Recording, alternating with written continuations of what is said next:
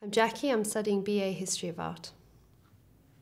Here was a university in the middle of London, and they not only did evening classes, but they also offered the degree part time. So I was still able to be a wife and a mother as well as um, carry on my job and support my family. My name's David. I've uh, just finished uh, four years studying um, the history of Western art and architecture at Birkbeck as a songwriter, I wanted to um, just guarantee my inspiration reserves. I'm leaving Birkbeck enriched.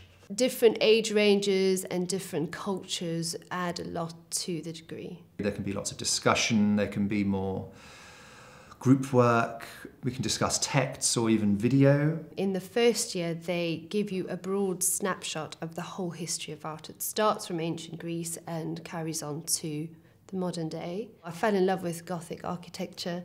I wrote one of my essays on Chartres Cathedral. I had the opportunity to go. You have um, an interest um, for life um, after engaging with the lectures and the texts here. As much as you put in, as many questions as you ask, and as much opinion that you can give in your classes, you'll get much more back from the whole of the Birkbeck stuff.